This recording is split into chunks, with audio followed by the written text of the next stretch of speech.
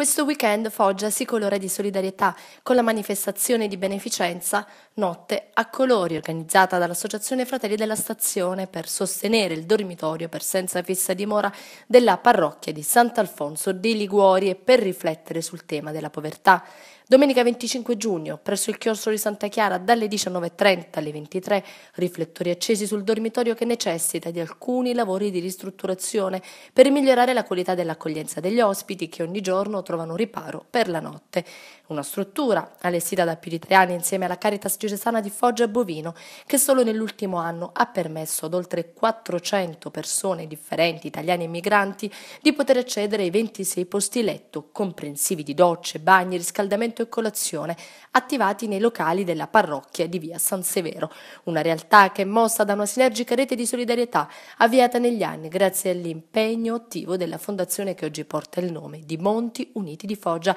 e di una serie di realtà associative che hanno consentito l'apertura e l'attivazione del dormitorio per poi strutturarlo meglio attraverso la convenzione tra la Caritas Diocesana di Foggia Bovino e l'assessorato alle politiche sociali del comune di Foggia. La manifestazione sarà animata da teatro e musica e culminerà con la consegna di un riconoscimento agli amici del dormitorio. Si tratta dell'ex presidente della Fondazione Banca del Monte Saverio Russo, del direttore della Caritas Don Francesco Catalano e del sindaco Franco Landella. L'ingresso è su invito. L'intero ricavato sarà devoluto al dormitorio per senza fissa dimora della parrocchia Sant'Alfonso.